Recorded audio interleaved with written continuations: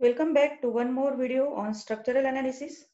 In this video, you will learn about various theories of failure and how to solve the numerical example using these theories. In second year in strength of material, you might have conducted tensile test on mild steel bar in laboratory and calculated yield stress in the bar. In this experiment, the mild steel bar is subjected to tensile force along one direction only, that is, it is unidirection or uniaxial along the longitudinal axis. But normally, in practice, structural members are subjected to different types of stresses simultaneously.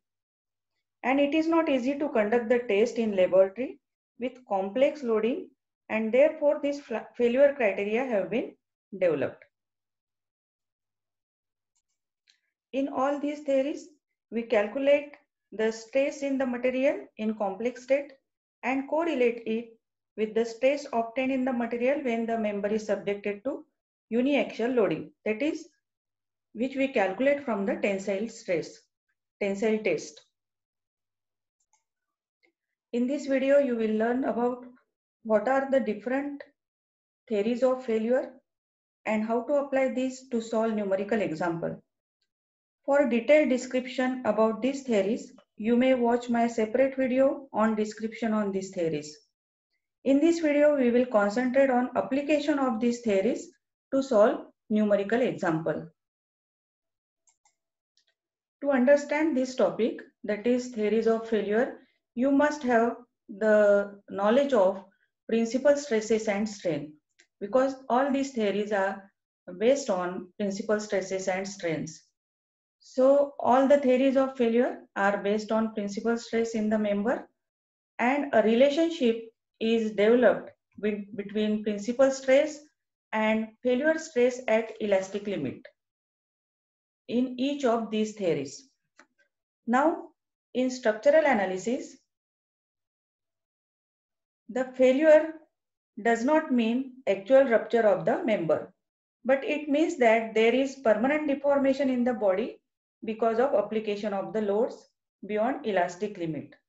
So the member is stressed beyond elastic limit, then the failure may occur due to increased elastic, uh, increased tensile stress, increased shear stress or increase in strain energy. So all these theories of failure are based on these criteria. Let us see what are these theories. Various theories have been developed to explain failure criteria when the member is in complex state of stress. And these theories are normally called as theories of failure or theories of elastic failure. According to these theories, failure will take place when limiting value is reached by maximum principal stress, maximum shear stress, maximum principal strain, maximum strain energy, and maximum shear strain energy. So based on this, there are five theories of failure. There are five theories of failure that is Rankine's theory, Tresca's theory, Beltrami and Haigh's theory, von Mises theory and Saint Venant's theory. In first theory that is Rankine's theory, it is assumed that the material will fail when the maximum principal stress reaches to its limiting value. In Tresca's theory, the uh, member will fail when maximum shear stress reaches to its limiting value. Similarly, in Beltrami and Haigh theory uh, depends on maximum strain energy in the material. Von Mises theory is based on maximum shear strain energy in the material or it is also called as maximum distortion energy theory. And Saint Venant's theory is based on maximum principal strain in the member. So let us see one by one. Based on these theories, various types of problems can be asked.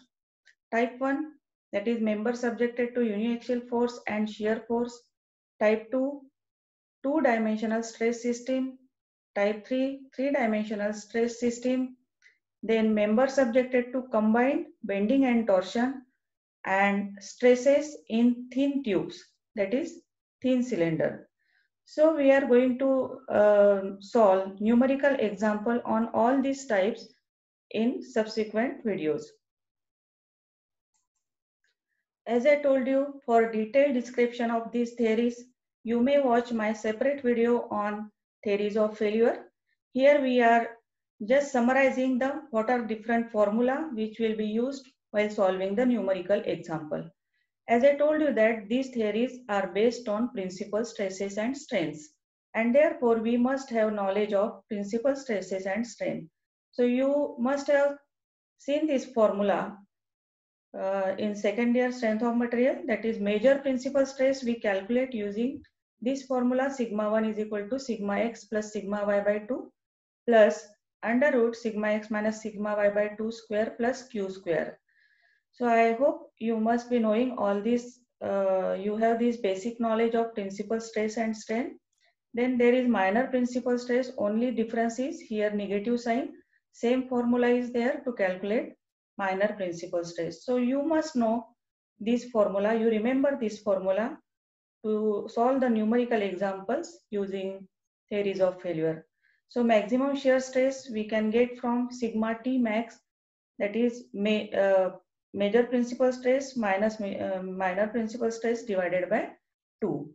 So you remember this formula. Then next is stress at elastic limit which we calculate from the tensile test that is yield stress is equal to sigma E which is equal to that is stress at elastic limit which is equal to sigma y that is yield stress. Now in maximum principal stress theory that is Rankine's theory what we do we equate maximum principal stress to stress at elastic limit. Stress at elastic limit will be given to you which is calculated from the tensile test. And what we have to calculate? We have to calculate sigma 1. Sigma 1 we calculate using this formula. So whenever you want to solve the problem on theories of failure using Rankine's theory, you have to just calculate sigma 1. Some, something may be unknown in this formula and you have to equate it to stress at elastic limit to get the unknown quantity. So this is Rankine's theory. So in this sigma x is stress in x direction.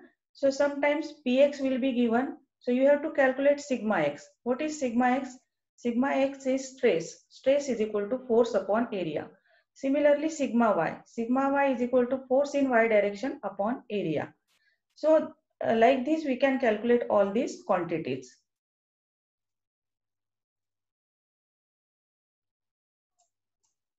If the problem is on uniaxial uh, force system, then in that case, sigma y will be 0. Just substitute use same formula and substitute sigma y is equal to 0. Now we will see next theory. So next is maximum shear stress theory. This theory is also called as Tresca's theory. So in this theory, what we do? We calculate what is the permissible shear stress. How we get permissible shear stress? it is equal to stress at elastic limit divided by 2. Now this permissible shear stress is equated to maximum shear stress. And how do we get maximum shear stress? It is difference of major principal stress minus minor principal stress divided by 2. So it is average of this. So uh, you can just calculate permissible by elastic limit. This will be given sigma e calculate what is permissible shear stress and this is what is actual shear stress. Equate these two to get the unknown quantities using maximum shear stress theory that is Tresca's theory. Next is maximum strain theory or it is also called as maximum principal strain theory or Saint Venant's theory. In this what we calculate? We calculate maximum strain due to actual forces and we equate it to the permissible strain. You know that stress upon strain is equal to modulus of elasticity and therefore strain is equal to stress upon modulus of elasticity. So this is permissible and this is actual. So we equate this and we calculate the unknown quantities using maximum principal strain theory. Next is maximum strain energy theory. This theory is also called as Beltrami and Hess theory. In this, we calculate maximum strain energy. This is the formula to calculate maximum strain energy in three dimension case. If it is 2D problem, you substitute sigma 3 is equal to 0. If it is uniaxial problem, then substitute sigma 2 and sigma 3 is equal to 0. You can use same formula for all the types of problem that is three dimensional, two dimensional and unidimensional. So here we calculate what is the strain energy and we equate it to permissible strain energy. Permissible strain energy we calculate from the stress at elastic limit that is sigma square upon twice E. This we equate to actual strain energy of the member and we calculate the unknown quantity. If it is two dimensional problem, I just told you that this 2E and 2E we can cancel and we can modify this equation like this. And if it is 2D problem, then sigma 3 is equal to 0. And if sigma 3 is equal to 0, this formula will reduce to like this. So there is no sigma 3 in this formula. Next is maximum shear strain energy theory, which is also called as maximum distortion energy theory or von Mises theory. So in this, we calculate maximum shear strain energy, which is given by this formula. Actually divided by 2E is there, but uh, we can cancel it and is equal to this. So uh, this is permissible and this is actual in two dimensional we can substitute sigma 3 is equal to 0 and then this equation will reduce to this type. So these are all the theories and these are all the equations you have to remember if you want to solve any numerical example using theories of failure. So as I told you that in theories of failure we equate the complex state of uh, stress to the permissible stress. Sometimes permissible stress is directly given in the problem. Sometimes it is, if it is not given, factor of safety is given, then you can calculate permissible stress by dividing the yield stress by factor of safety. Now let us solve one numerical example on based on theories of failure. Suppose this is the given problem. A bolt is acted upon by an axial pull of 16 kilonewton. Means 16 kilonewton is the axial force on that member or on that bolt. And there is a shear force of 10 kilonewton. And what we have to calculate? We have to calculate diameter of the bolt.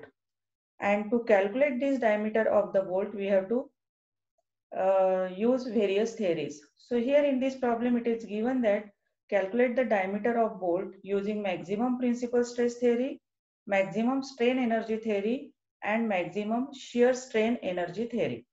So let us see how to solve this example. It is also given that permissible stress in simple tension is 100 MPa, which is sigma E. Sigma E is equal to 100 MPa is given. And you know that MPa is equal to Newton per millimeter square. And uh, Poisson's ratio is also given mu is equal to 0.3. So let us see how to calculate the diameter of the bolt using these theories. So what is the given data? Given data is a bolt is there. There is some fixity on this edge and this bolt is subjected to axial force of 16 kilonewton which is equal to 16,000 Newton and there is shear force which is 10 kilonewton that is 10,000 Newton. Now you know that this stress upon this area sorry, this force upon this area will be stress in x direction. So to calculate sigma x, it is px upon this area. Similarly, to calculate shear stress, that is small q, is equal to this shear force divided by this area. So this data we will use while solving the problem and it is also given that permissible stress is equal to 100 MPa which is equal to 100 Newton per millimeter square and mu is also given that is Poisson's ratio 0.3. So this is the given data. Now let us apply these theories of failure one by one. To calculate diameter of this bolt. So first of all, we will apply maximum principal stress theory. So this theory is also called as Rankine's theory. And in this, you will calculate maximum principal stress and you will equate this maximum principal stress to permissible stress. Now here sigma x we can calculate px upon area. Uh, this is uniaxial problem so sigma y will be 0. Then we can calculate q that is shear force upon area and then we will substitute here. Area will be unknown in this case and from area we can calculate the diameter. And you know that how we apply this theory? We equate this sigma 1 which is calculated to sigma E which is given that is 100 Newton per millimeter square. So let us calculate first maximum shear principal stress and equate it to stress at elastic limit. Then you can get the area of the bolt and from area you can calculate diameter of the bolt. So as I told you that in this case, there is only sigma x and no sigma y. So we can modify this formula like this by omitting sigma y. Using this formula, first of all, we have to calculate sigma x. Sigma x is equal to px upon a. px is given that is 16,000 Newton upon a. Suppose a is area of bolt. Then we can calculate this q which is shear force upon area.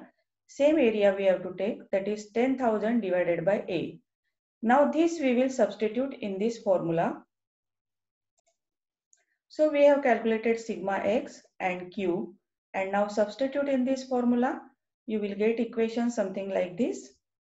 And then finally if you simplify it, the equation will become sigma is equal to Plus minus means major principal stress and minor principal stress. Initially, we calculate both the principal stresses and then we will take whatever we need.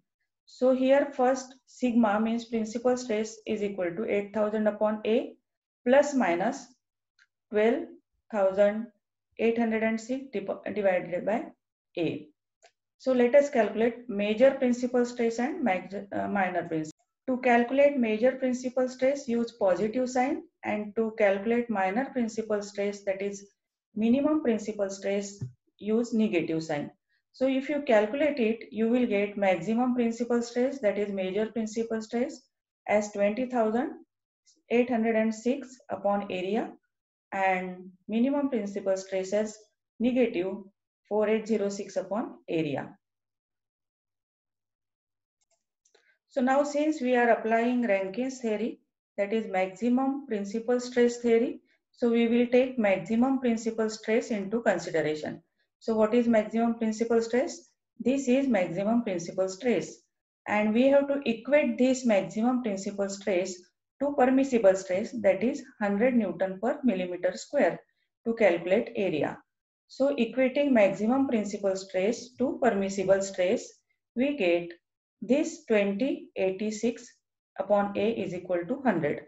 So if you calculate it, you will get area is equal to 208.06 millimeter square. And we know that area is equal to pi by 4 d square. So from this expression, we can calculate diameter of the bolt, which is equal to 16.28 millimeter. That means using Rankine's theory, we get diameter of bolt as 16.28 millimeter. Now let us apply second theory. Now second which is asked in the problem is maximum strain energy theory. So we, we have just seen that maximum strain energy theory which is also called as Beltrami and Head theory. So strain energy per unit volume of bolt is given by this formula. You have to remember this formula of strain energy and you have to equate this strain energy with the permissible value. Permissible value is given by this formula. So you have to equate these two equations to calculate area and from area you can calculate diameter of bolt. So here we are going to equate this 1 upon 2e sigma 1 square plus sigma 2 square minus twice mu sigma 1 sigma 2 is equal to. This is known. We can cancel this 2e and 2e sigma P is known that is 100 Newton per millimeter square. So we equate this first equation and second equation to calculate diameter of bolt. Now let us calculate what is maximum strain energy in this case. So you know that strain energy is given by this formula and we have already calculated sigma 1 and sigma 2 in terms of area. So this we substitute here everything mu is given 0.3 so substitute all the terms here so you will get after simplification you will get it is equal to 25.8 into 10 raised to power 7 area square into E. So this is the strain energy stored in the bolt. Now we have to equate it to permissible value and permissible strain energy stored is given by this formula sigma square upon twice E. So if you write all the values you will get 100 square upon twice E. Now equate these two equations to get the area of the bolt. So if you solve this, you will get 5000 upon E. Now we will equate these two equations. So equating 1 and 2, we get equation like this. Here remember that it is area square. So first of all, you have to take under root to calculate area and then it equate it to pi by 4 d square and calculate the diameter of the bar. So in this case, if you simplify this, you will get diameter of uh, bolt is equal to 17 millimeter using maximum strain energy theory. Now let us apply third theory. As I told you that you have to remember all these formulae for calculating various stresses or strain energies in this uh, topic that is in theories of failure. So here we have to calculate maximum shear strain energy and equate it to permissible. So uh, this theory is also called as von Mises theory or maximum distortion energy theory. So in this case, we write the equation like this and equate it to sigma p that is permissible square. So using this equation, just write, substitute this sigma 1 and sigma 2 and sigma p and calculate area. So if you calculate area, you will get area is equal to 235.79 millimeter square or diameter of bar is equal to 17.33 millimeter.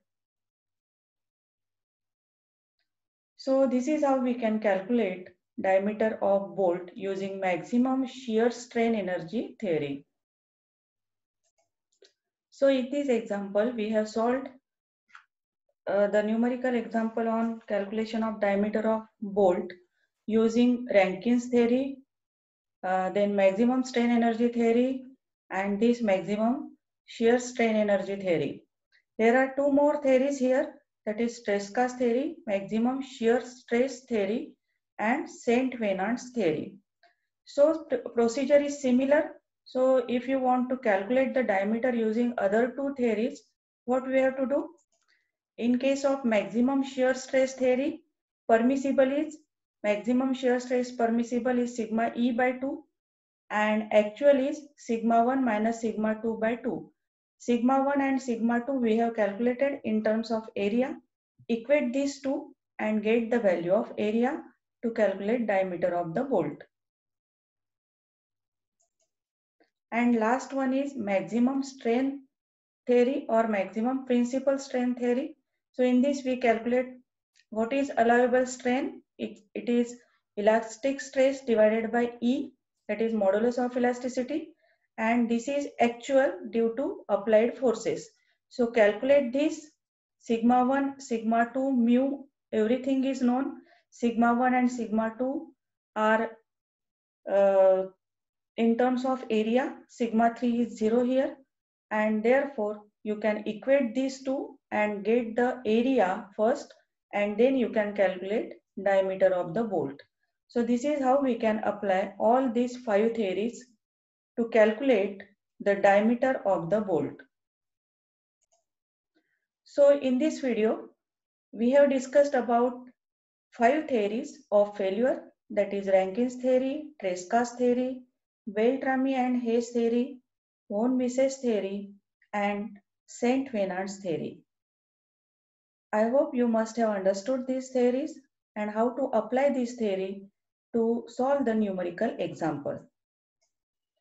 So stay connected to get more videos on theories of failure and also on structural analysis. Thank you for watching this video.